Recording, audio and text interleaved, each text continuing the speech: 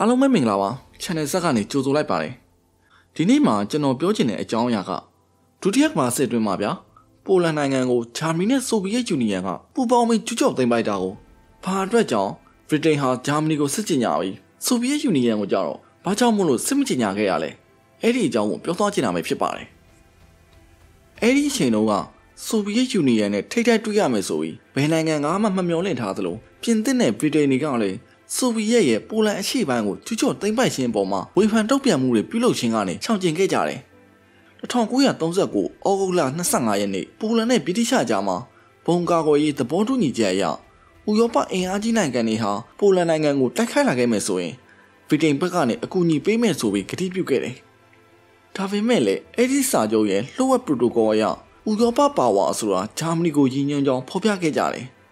ပိုလန်တန်အမတ်ကြီးအဗာရန်ဆန်စကီဘက်ကဗြိတိန်နိုင်ငံသားရဲ့အတွင်းဝန်လော့ဟက်လီဖာရဲ့စာချုပ်ကိုတတိပေးတဲ့အခါဆိုဗီယက်ယူနီယံကိုစစ်ချညာခြင်းမချညာခြင်းဟာဗြိတိန်နိုင်ငံရဲ့တည်တံ့အခွင့်အရေးဖြစ်ကြောင်းပြက်ပြက်သားသားပြောခဲ့ပါတယ်။ဗြိတိရှဝန်ကြီးချုပ်နဗီးရှင်ပလင်ကပိုလန်နိုင်ငံကိုပြန်လည်ထူထောင်ဖို့အတွက်အများသူကဂတိကဝတ်ပြုရန်စဉ်းစားခဲ့ပေမဲ့လည်းနောက်ဆုံးမှအထွေထွေချုပ်ချမှုတွေကိုသာထုတ်ပြန်ခဲ့ကြတယ်။သူတို့ရဲ့လုံခြုံရေးအကျိုးစီးပွားတွေမှာ စစ်ရေးအားထုတ်မှုကိုပံ့ပိုးပေးမဲ့ဆိုဗီယက်ယူနီယံနဲ့ကုန်သွယ်ရေးပါဝင်ဗြိတိန်ရဲ့ဟန်ချက်ညီအောင်ကြိုးပမ်းမှုနဲ့အတူနောက်တစ်ချိန်မှာအင်္ဂလိပ်နဲ့ဆိုဗီယက်ရဲ့မဟာမိတ်ဖြစ်နိုင်ခြေကိုကိုစားပြုပြီးဂျာမနီကိုစန့်ကျင်တိုက်ခိုက်ရန်ဖြစ်တယ်။အဲ့ဒါကအမှန်တကယ်ပဲနှစ်နှစ်ကြာပြီးရဲ့အခါဂျာမနီရဲ့ဆိုဗီယက်ဘော်ကိုထိုးစစ်ဆင်တဲ့ Operation Barbarossa အပြီးမှာဖြစ်ပေါ်လာခဲ့တယ်။တခြားတစ်ဖက်မှာလည်းဂျာမနီနဲ့ဆိုဗီယက်တွေကပိုလန်နိုင်ငံကိုကျူးကျော်တိုက်ခိုက်ခြင်းအပေါ်မှာဒေါသထွက်နေကြတဲ့ဗြိတိန်ပြည်သူတွေရဲ့အမြင်နဲ့ ဒေသတွင်းမှာရှိတဲ့ဆိုဗီယက်တွေရဲ့တောင်းဆိုချက်တွေကတစ်ဖက်မှာလည်းကျူးကျောင်းစီတော်မူရှိတယ်ဆိုပြီးထင်မြင်မှုတွေကြားမှာကွဲပြားနေကြတယ်။ပြင်သစ်ဘက်ကဒေသတွင်းမှာလေကြောင်းထောက်ပံ့ကူညီမှုပေးမယ်ဆိုပြီးပိုလန်နိုင်ငံကိုကတိပေးခဲ့ပေမဲ့လည်းဖြစ်မလာခဲ့ဘူးဗျ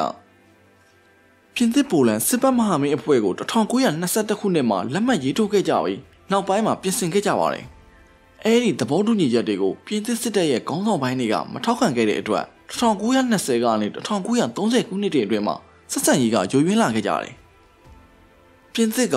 ဂျာမနီနဲ့ဆိုဗီယက်မဟာမိတ်အဖွဲ့ကနှုတ်နယ်ပြီးကျူးဖက်လွယ်တာကြောင့်ပြစ်ပြက်သားသားချုပ်ချတယ်လို့ယူဆခဲ့တယ်လို့ဆိုဗီယက်ယူနီယံကိုစန့်ကျင်တဲ့လုပ်ရဟာပြင်သစ်နဲ့ပိုလန်နိုင်ငံကြားမှာအကျိုးစီးပွားကိုထိခိုက်စေနိုင်ပြန်တယ်။ဆိုဗီယက်တွေဘက်ကပိုလန်ကိုတင်ဖိုက်ပြီးတဲ့အခါပြင်သစ်နဲ့ဗြိတိရှတွေဟာပိုလန်နိုင်ငံအတွက်ကူညီလှုပ်ဆောင်ပေးနိုင်တဲ့အရာတွေမရှိတာကိုတတိပြုခဲ့ကြပြီး ရေရှည်အောင်ပွဲအတွက်အစီအစဉ်တွေကိုရေးဆွဲခဲ့ကြပါတယ်။1939ခုနှစ်စက်တင်ဘာလအစောပိုင်းမှာဂျာမနီနိုင်ငံအနောက်ပိုင်းစားဒေသစီကိုခြိတက်လာတဲ့ပြင်သစ်တပ်တွေဟာ1939အော်တိုဘာလ4ရက်နေ့ပိုလန်နိုင်ငံချုံးနှိမ်ပြီးရဲ့နောက်မန်ချီနိုခန်စစ်လိုင်းကိုဆုတ်ခွာသွားခဲ့ကြတယ်။1939အော်တိုဘာလ1ရက်နေ့မှာ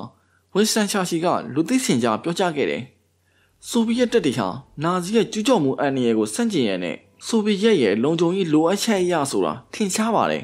။ဘလို့ပဲဖြစ်ဖြစ်ခန်းစစ်မြင်းကိုဆိုဗီယက်ဘက်မှထားပြီးနာဇီဂျာမနီကိုမတိုက်ခိုက်ရှင်တာကြောင့်အရှင်းမျက်နှာသာတစ်ခုကိုဖန်တီးထားတဲ့သဘောမျိုးဖြစ်တယ်။ဟာဘွန်ရီဗင်ထရော့ကိုပြီးခဲ့တဲ့အပတ်ကမော်စကိုစီကိုဆင့်ခေါ်ခံရတဲ့အခါအဖြစ်ပံကိုလိလာရန်နဲ့ဘော့တင်နိုင်ငံယူကရိန်းတို့အပေါ်မှာနာဇီတွေရဲ့ကျူးကျော်မှုတွေကိုကြိုတင်ရပ်တန့်ရန်တို့ပဲဖြစ်တယ်။မွန်လိုဒိုရီဗင်ထရော့ရဲ့သဘောတူစာချုပ်ကတရားဝင်မဟာမိတ်မဟုတ်တဲ့အတွက်ကြောင့် ပိုလန်နိုင်ငံကိုကျူးကျော်တိုက်ခိုက်ရမှာဂျာမနီနဲ့ဆိုဗီယက်ရဲ့ပူးပေါင်းဆောင်ရွက်မှုကိုပူးတွဲပုံကံမှုအဖြစ်ဖော်ပြခဲ့ကြပါတယ်။ဟုတ်ကဲ့ပါဒီအကြောင်းအရာလေးကတော့